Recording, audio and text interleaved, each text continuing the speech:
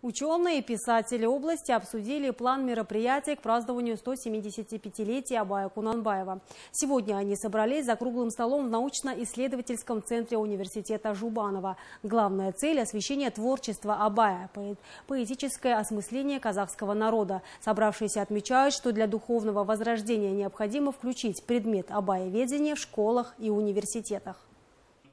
Абай – это, я только что сказал, наш духовный паспорт. Тогда мы должны изучать Абая везде, во всех учебных заведениях, и в школе, и в средних специальных учебных заведениях, и в высших учебных заведениях. Конечно, они имеют свое собственное э, видение, воспитывают, подготавливают специалистов, а мы должны разработать какую-то форму, как бы через Абая воспитывает наше подрастающее поколение.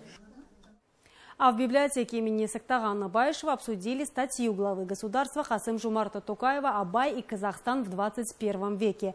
За круглым столом собрались известные обоеведы города, преподаватели вузов и колледжей, учителя обществообразовательных школ и работники сферы культуры. Как известно, в рамках 175-летия Абая Кунанбаева его произведения должны быть переведены на 10 языков. Будет снят документальный фильм о жизни, творчестве и наследии великого мыслителя.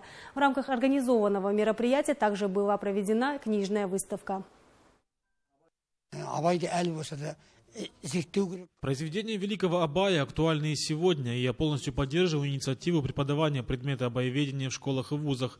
Нужно уделить особое внимание изучению произведений нашего знаменитого просветителя, особенно подрастающему поколению. Это наша история, которую нужно помнить и чтить.